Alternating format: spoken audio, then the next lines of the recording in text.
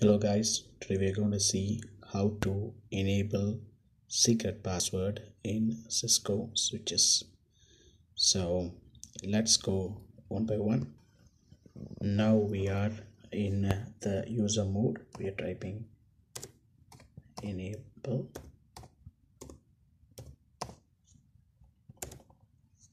Now it has gone because we haven't set a secret password yet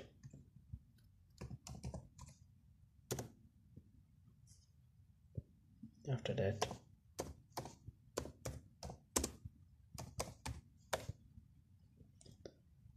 So I'm going to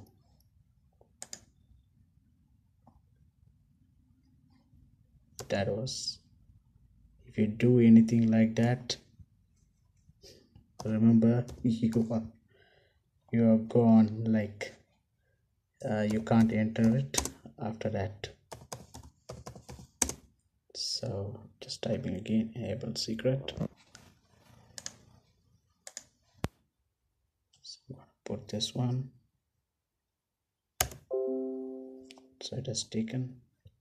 After you do it give exit and type.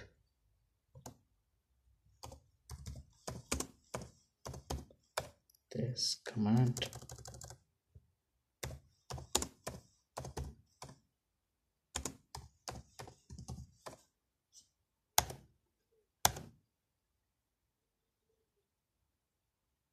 all right now let's exit out of this mode.